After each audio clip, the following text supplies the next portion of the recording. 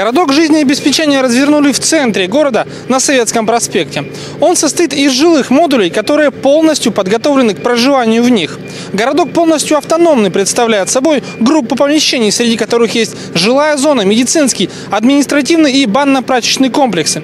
Развернуть такой городок можно практически везде и обеспечить временным пунктом размещения до 60 человек. Городок уже развернут, в его оборудовании учтены все потребности населения, жилые зоны готовы к экстренному приему устюжан. Есть здесь и комната отдыха с телевидением, книгами и настольными играми. Также на территории городка оборудован специализированный узел связи, который может работать сразу на нескольких каналах.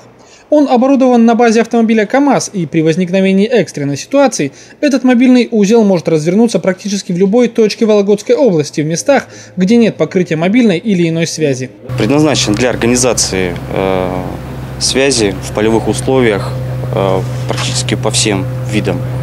Это и УКВ, это и КВ-связь, это и цифровые технологии, также своя ведомственная организация. На данный момент Ростелеком э, каналы все подал, которые были необходимы от них. Э, телефоны уже в рабочем режиме работают. Завтра в Великом Устюге пройдет большое совещание с участием представителей Вологодской и Архангельской областей, а также пройдет смотр группировки спасателей, силы которых брошены на минимизацию последствий предстоящего паводка. Конечно же, хочется верить в лучшее, в то, что наводнение все же обойдет наш город стороной и потребности населения Великого Устюга и района в городке жизнеобеспечения не будет. Андрей Жилин, Максим Колосов, Новости провинции.